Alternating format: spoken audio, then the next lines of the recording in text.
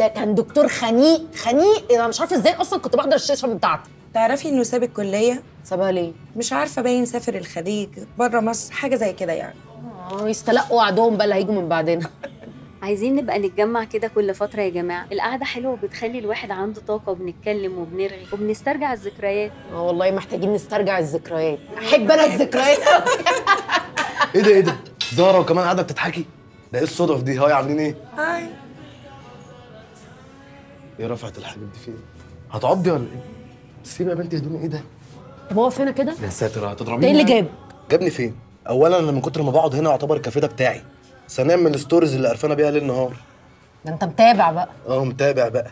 مش واخدة بالك ولا إيه؟ طب وفي حد يجي يطب فوق دماغ حد كده يعني مش بنتصل نستأذن يعني ولا تحرجني قدام صحابي ولا إيه نظامك؟ نظامي؟ أستأذن من إيه؟ وأنا جاي بيتكم. وبعدين صحابك أصلا هيموتوا ويعرفوا إحنا بنقول إيه. يا سلام يا أخويا. والله. بص ده عينيهم هتطلع عليا يا ابني. تلاقيهم قاعدين بيقولوا مين الواد المز اللي هي واقفه معاه ده.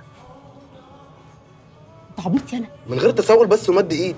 يعني أنا ضارب المشوار ده كله عشان أجي أقعد معاكي وأقول لك تساعديني. هتتكلمي معايا بالطريقة العرة دي؟ هو أنت لسه شفت عرة ولا شفت تسول؟ طب أنا عايزك في حوار مهم بجد.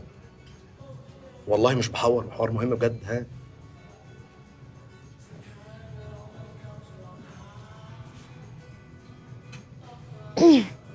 معلش يا بنات آه، 500 وهرجع لكم.